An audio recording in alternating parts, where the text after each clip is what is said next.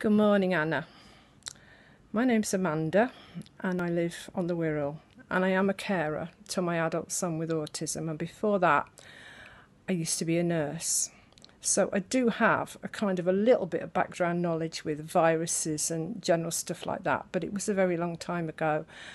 But I just wanted to sort of pass on my views on how the um, the lockdowns actually affected me and my family. My two sons, who also have, the other one lives in a care home and he's also autistic. I got a phone call a few weeks back, the sort of phone call that every mother dreads basically, saying that he'd been tested positive for COVID. Now, I'm very skeptical about these tests. You know, what with them testing bananas and, and furniture and stuff and them coming back positive. But you have to just take this for what it is. And so I had to wait 14 days to see if he developed symptoms. All the while thinking, well, if he dies, I'm not going to be there. Now, that was horrible because I was talking to the woman that was actually looking after him and she was saying, we'd have to bar you in, we won't let you in. Now, that's not nice for them and that's not nice for me. And it, I don't know how my son would feel um, about not actually seeing seeing his family if he was dying because with the level of understanding he has about the world I don't think he'd understand why it was happening and and he'd be very frightened and afraid. Well fortunately god willing he didn't get any symptoms and after 14 days he was cleared. And as far as I know now he's had negative tests but that wasn't a nice thing to go through at all me and my other son we we didn't well it wasn't very nice him not to be able to go to his day service because he quite likes his day service and I was 24 hour entertainments manager which was quite hard work to be honest.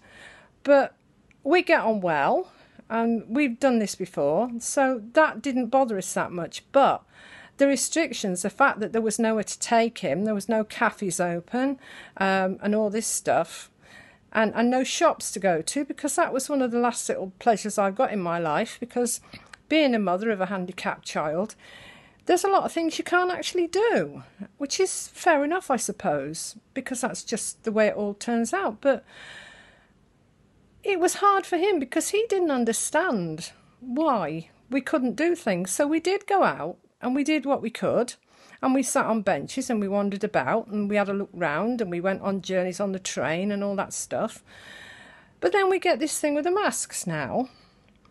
Now, he does wear a visor on a good day, and I will wear a visor, but I really can't get on with masks and I am not going to entertain masks. I will I will cover my face in an enclosed area to protect other people because quite frankly with the way the way that these symptoms are with covid you just you're not really sure if you've got it at all.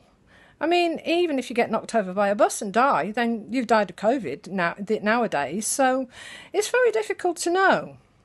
Well as i say we we just we, we, we may have had the odd cold or the odd sniffle but i don't know if that was covid or not and we both seem okay but I will be uh, considerate of other people because there is so much fear about.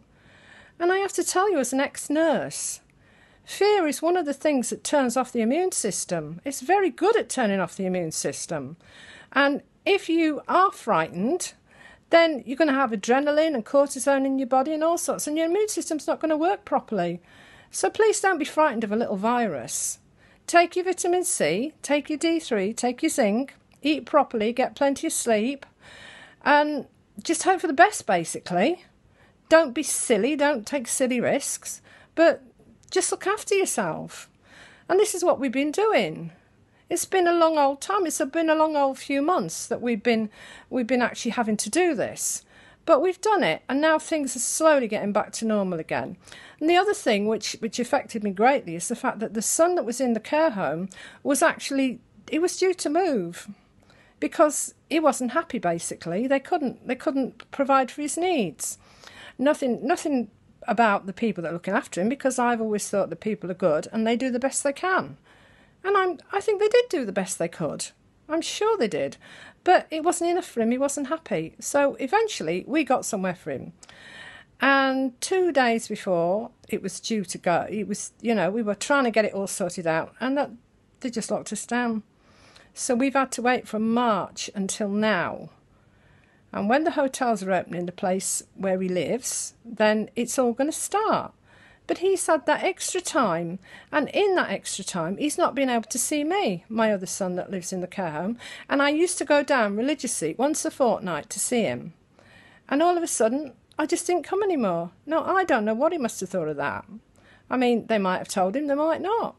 But now we've we've got a sort of a system now where we can sit outside with him. I don't think they are pleased about it, but they let me do it. But the trouble is now with the transport, with the trains being cut and the buses not being very many buses to go to the place, it's it's more or less impossible and very tiring, especially when you've got another adult with autism with you. Very hard.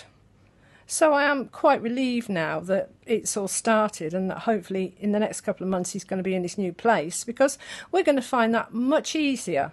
And I hope, hope it would be. And you see, if it hadn't been for the, the lockdown, he could have been there in March. So he's had all that extra months of suffering. I haven't seen him.